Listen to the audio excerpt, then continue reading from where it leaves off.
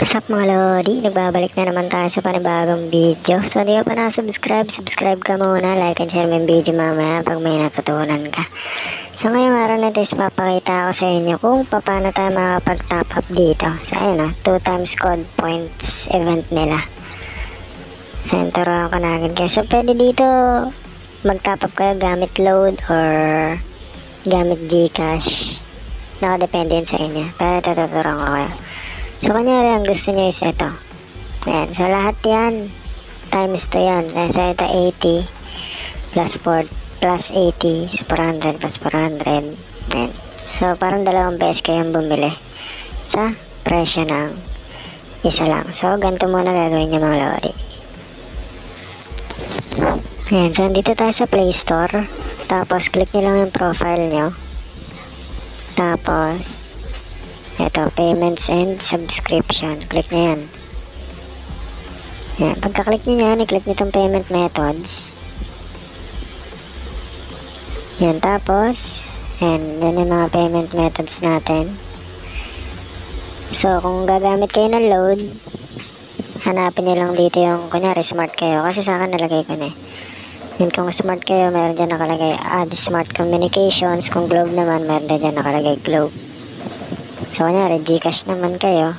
Yan. So, continue nyo, add Gcash. Tapos yan, pupunta na sa Gcash. Tapos, may magte-text lang sa inyo na OTP, insert nyo lang yan. Ayan, so may nag-text na rin na yung successfully link.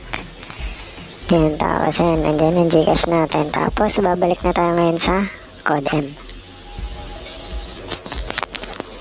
Yan, so andito na ulit tayo mga lodi. So, pag nakakonect na yon yung account nyo, punta lang kayo dito. Dito. Yan. Two times code points, no? Diyan lang kayo pupunta. Tapos, bilhin natin. Yan, kiklik nyo lang yan. So, pagka-click nyo, may lalabas dyan. Tapos, piliin nyo lang yung preferred payment method nyo. So, yan. Pag smart, 49 pesos plus tax. So, sobrahan nyo na lang. Kunyari, 49. Sobrahan nyo kung via load kayo magano. Pero pag Gcash kayo, walang tax ang Gcash. So, one tap buy. Tapos, i-verify nyo lang yung purchase nyo gamit yung biometrics o kaya yung password ng Gmail nyo. Yan, sa processing na. Ayan, payment successful na tayo mga lodi. Yan, sa hintayin nyo lang. Ayan, payment successful.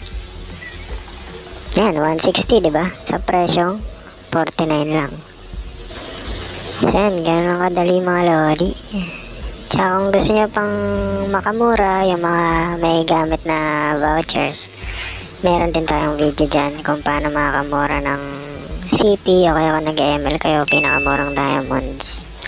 Meron din tayong tutorial dyan. Lalagay ka na lang lahat sa pin comment o kaya sa description. Yun lang muna sa ngayon mga lodi.